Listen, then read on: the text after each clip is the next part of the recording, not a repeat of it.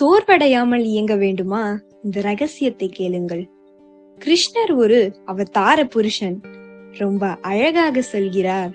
மூன்று உலகங்களிலும் அதாவது ஆன்ம உலகம் மன உலகம் வெளி உலகம் இந்த மூன்று உலகங்களிலும் எனக்கு செய்ய வேண்டியது எதுவுமே இல்லை.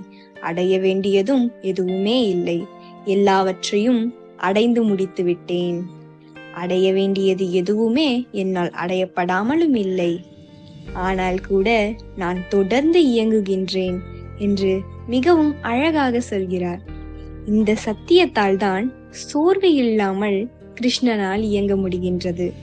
சில பேர் என்னிடம் வந்து கேட்பதுண்டு சாமி தினம்தோறும் எங்கேயாவது ஒரு இடத்துல உலகம் முழுவதும் சத்சங்கமும் நிகழ்ச்சியும் பண்ணிக்கிட்டே இருக்கீங்களே உங்களுக்கு சோர்வே இருக்காதா?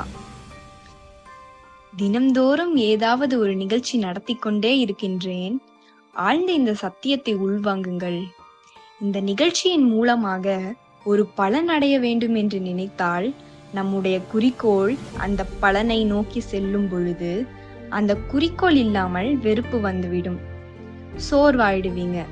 இது செய்யாமலே அந்த பலனை அனுபவிக்க முடியாதா?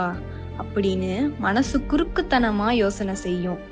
இந்த நிகழ்ச்சியின் மூலமாக இன்னொரு பலன் என்கிற கருத்து இல்லாமல் இந்த நிகழ்ச்சியே பலன் கர்மமே பலன் என்கிற தெளிவு வந்தால் சோர்வே இருக்காது. ஆழமாக புரிந்து கொள்ளுங்கள். இப்பொழுது இந்த நிகழ்ச்சியின் மூலமாக பணமோ பெயரோ புகழோ வேண்டும் என்று நினைத்தோம் என்றால் இந்த செயல் மீது அந்த அளவிற்கு ஸ்ரத்தையும் ஈடுபாடும் இருக்காது. செயல் மீது ஸ்ரத்தையும் ஈடுபாடும் இல்லாமல் போனாலே சோர்வு வந்துவிடும். அதுதான் சாதாரண மனிதனுடைய மன அமைப்பு. அப்படி இல்லாமல் இதனால் வருகின்ற பலனை பற்றி கவலைப்படாமல் இந்த செயலே நமக்கு இனிமை தரக்கூடியதாக ஆனந்தம் தரக்கூடியதாக இருக்குமானால் சோர்வே இருக்காது. இதனால் வரப்போற விளைவு பற்றி கவலைப்படாதீர்கள். இந்த செயலே பலன். நான் இந்த சத்தியங்களை உணர்ந்திருக்கிறேன். அதனால் ஆனந்தமாக இருக்கின்றேன். கேட்க வருகின்ற எல்லோரோடும் இந்த சத்தியத்தை பகிர்கின்றேன்.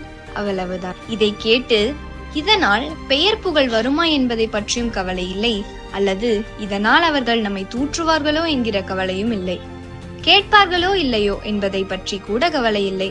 ஏனென்றால் பெரும்பாலான நேரத்திலே கேட்கிறார்களா இல்லையா என்பதை பற்றி கூட நான் கவலைப்படுவதில்லை. என்னுடைய வாழ்க்கையை இந்த சத்தியங்கள் வளமாக்குகின்றன. அது எனக்குள் பொங்கி வெளிவருகின்றன. நான் ஆறு போன்று ஓடிக்கொண்டிருக்கிறேன். அடையப்படுவது வேறு ஒன்றும் இல்லை அடையப்பட வேண்டியது தேவையும் இல்லை. அதனால் எந்த விதமான சோர்வும் இல்லாமல் கர்மம் தொடர்ந்து நடந்து கொண்டே இருக்கிறது. இந்த சத்தியங்களை பின்பற்றிட உங்கள் வாழ்விலும் சோர்வை வெற்றி கொள்வீர்கள்